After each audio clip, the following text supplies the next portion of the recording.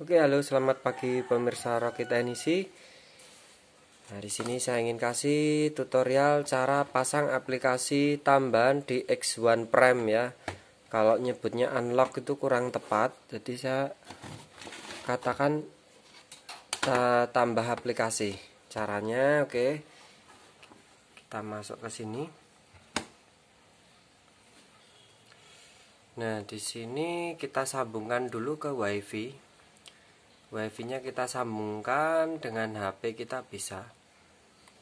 Saya kasih sandi 1 2 3 4 5 6 7 8 oke sudah ini. Sandi masukkan sandi.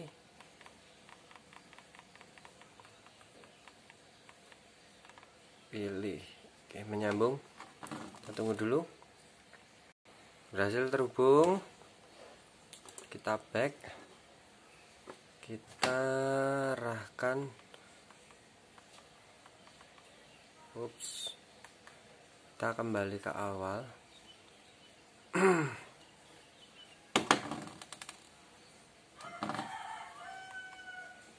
Kita masuk ke aplikasi permainan.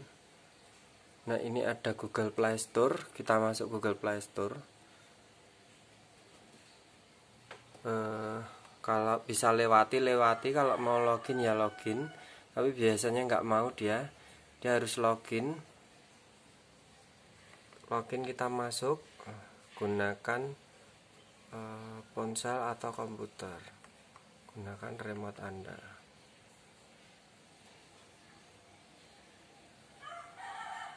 Kita masuk kita masukkan akun dulu sebentar. Oke sudah saya masukin email ya kemudian kita klik enter. Aduh. Aduh. Kita sandi. Sandi masukkan. Dia akan loading. Tunggu dulu. Oke sudah nyambung dia. Kita masuk ke pencarian. Kita masukkan ke nah, tulisan. Saya pakai ketik-ketik ini. Explore. Nah oke. Okay. kita sudah sampai explore ini. Oh sorry ulang. Oke okay, sudah saya ketik explore. Ini kita klik. Kita membutuhkan manager kita install supaya bisa dipasang aplikasi dari flash disk gitu ya.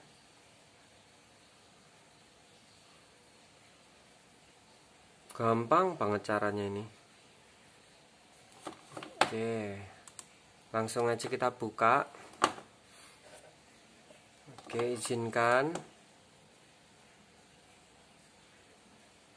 Nah kita colokin flash disk sekarang colok flash disk ini soalnya USB nya cuma satu.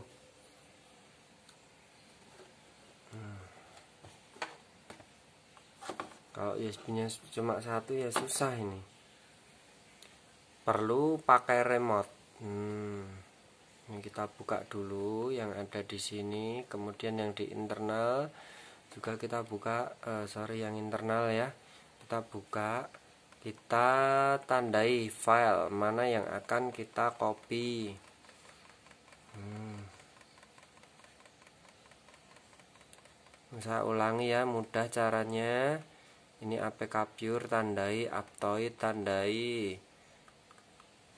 autostart tandai juga bisa. Begitu masuk nanti langsung autostart.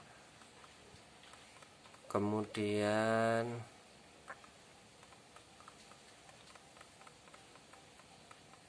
HDTV Explore IPTV MX Player Netflix Mode Smart YouTube TV Launcher bisa. TV Launcher saya mau pakai TV Launcher TV launcher. Nanti bisa kita coba-coba untuk TV launchernya ya. Ah, ini belum selesai ya. Hmm, simak terus.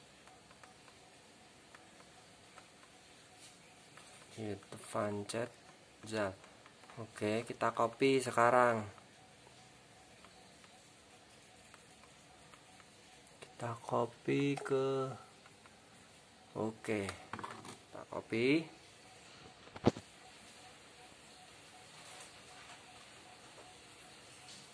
tunggu sampai selesai. Swan Prime nah. Ini pakainya remote. Harus punya remote karena ini saya ganti mouse eh, saya ganti mouse dulu Oke, hilang dia. Kita masuk.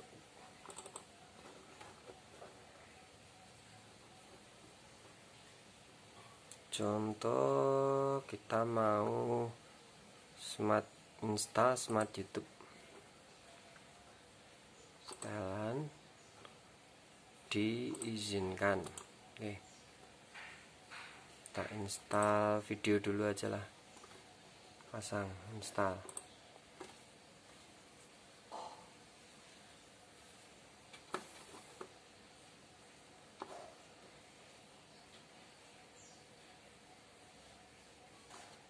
Oke, selesai. Terus kita pasang juga Smart TV Launcher. Smart TV Launcher fungsinya untuk tema. Jadi nanti ketika kita pakai mini keyboard, kita klik yang uh, tombol ini, tombol home, dia akan muncul. Kita buka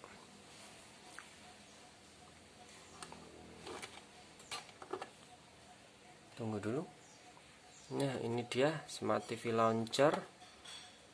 Hmm, kita tinggal geser-geser.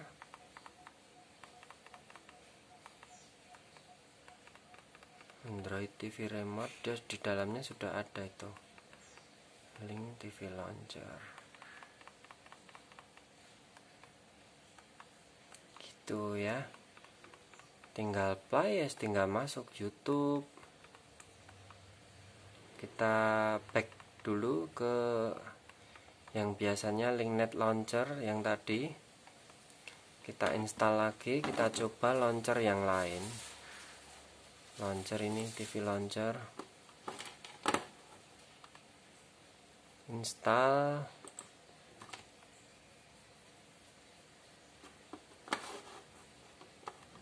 Buka Oke, next, next, next, next, next, done.